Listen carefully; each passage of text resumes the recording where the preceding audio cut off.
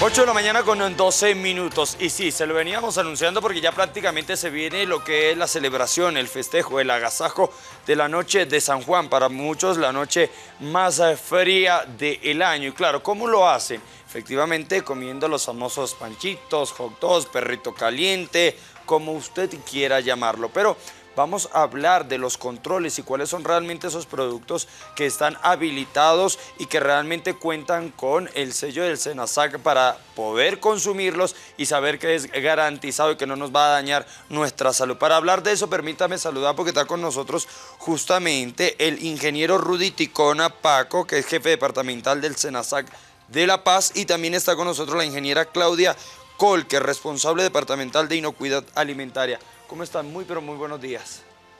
Antes, pues tengan muy buenos días y muchas gracias eh, por la cobertura.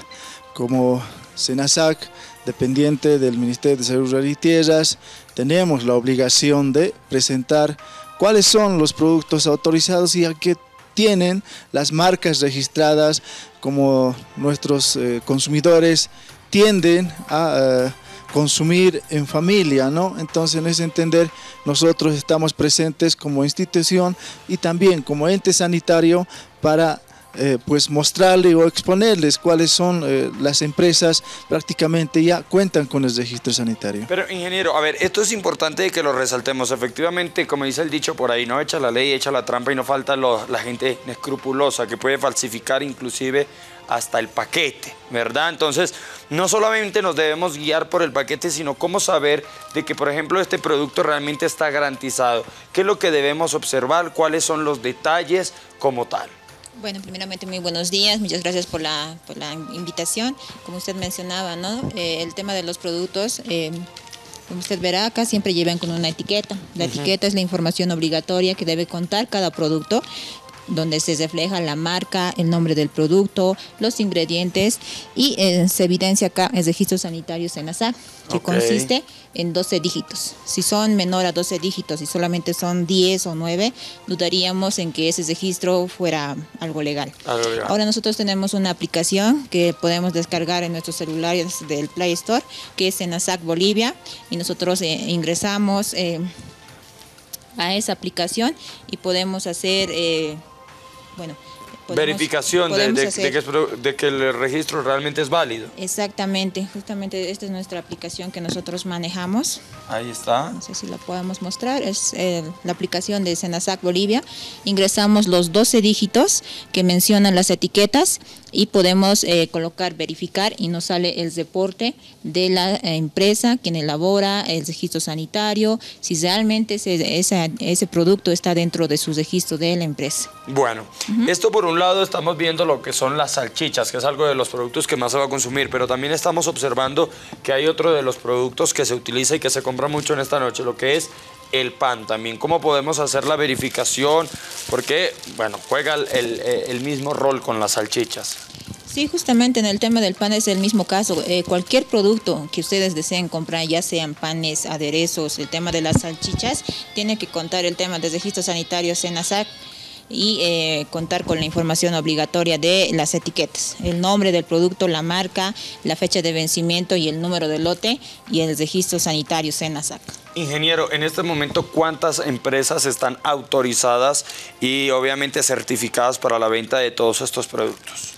Pues a nivel nacional tenemos más de 700, ah, más de 800 eh, empresas o marcas que ya están eh, autorizadas, ¿no? Y dentro de ellos también como 70 tenemos eh, que son importadores. Bueno, aquí en el departamento de La Paz tenemos 35 empresas, ¿no?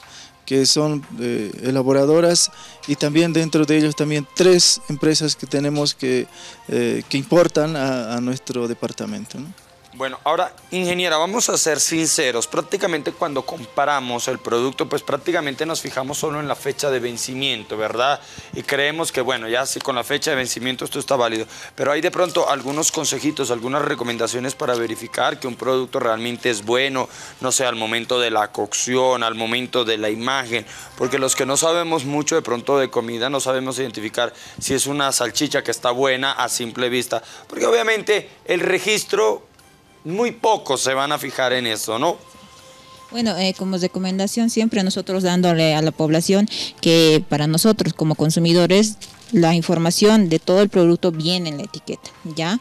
Eh, tiene que tener el tema de la fecha de vencimiento y el lote, que para nosotros es importante, ¿por qué? Porque es como una fecha de nacimiento del producto, donde nosotros podemos hacer una trazabilidad eh, eh, con el producto, con qué materia prima ha sido elaborada y todo lo demás. Y lo que ustedes mencionaban, en el tema del producto, si tiene alguna característica que, que no sea parte del producto, entonces tal vez hacernos llegar como muestra el producto, hacer tipo una denuncia para nosotros hacer el análisis correspondiente y verificar si realmente el producto está en, sea apto para el consumo humano. Ahora, estamos hablando de que cuál es el tipo de sanciones que va a haber para aquellas personas que estén adulterando, aquellas empresas por ahí que de pronto estén vendiendo producto en mal estado, ¿va a haber sanciones como tal? Bueno, para aquellas empresas que ya están constituidas y cuentan con unos registros sanitarios en ASAC con nosotros, bueno, ellos ya saben eh, cuáles son nuestras normativas que nosotros aplicamos si es que incumplieran a nuestras normativas. Hay sanciones económicas,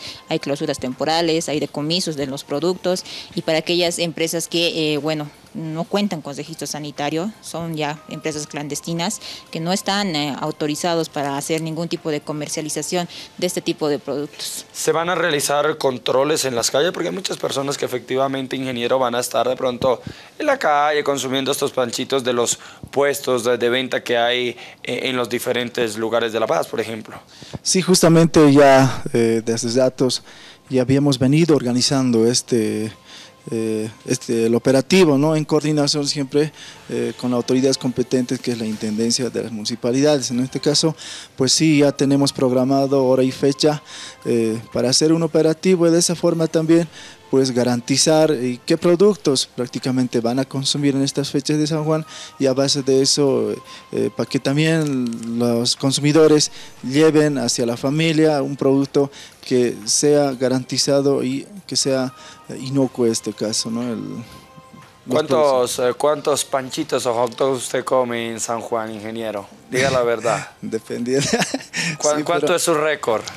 Ah, generalmente... ¿Unos 10, unos 15? Menos. ¿Por qué lo duda? Ah, usted ingeniero, usted ingeniero se ve que también come. A ver, páseme el micro. ¿Cuántos panchitos se come usted por lo general en la noche de San Juan? Está permitido, es la noche donde... Eh, hay que comer todo lo que se pueda de panchitos. Sí, bueno, lo que se pueda, no, no, no somos tan, eh, bueno, consumidores de panchitos. pero sí lo que se pueda. Podría ser.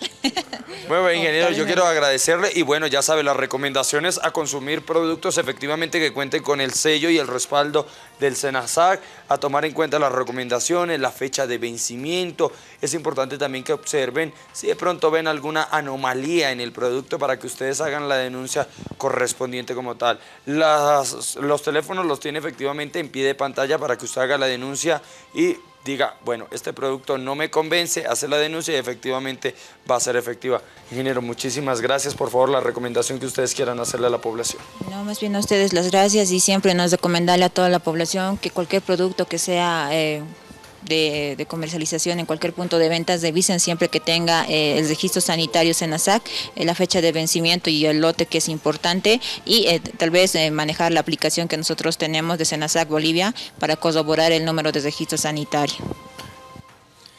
Perfecto. Listo, muchísimas gracias. Agradecemos al ingeniero Rudy Ticona Paco, el ex jefe departamental del SENASAC de La Paz, como también a la ingeniera Claudia Colque, responsable departamental de inocuidad alimentaria a consumir panchitos, no se diga más, o hot perrito caliente, como usted quiera decirle. Es momento de los deportes.